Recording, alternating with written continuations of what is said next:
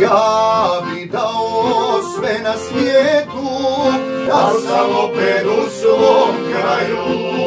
Za sve livnjake i prijatelje, daleko od rodnog kraja, Livanjska zajednica u Švicarskoj priređuje devetu po redu Livanjsku noć.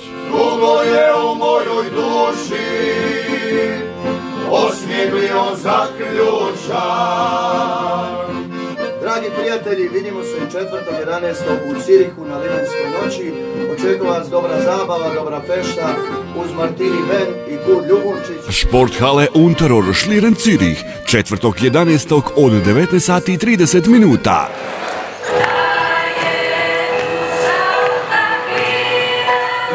Mladi zbor Hrvatske katoličke misije Cirih.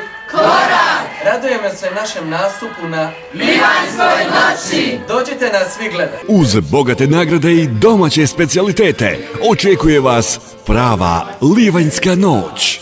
Dugo je u mojoj duši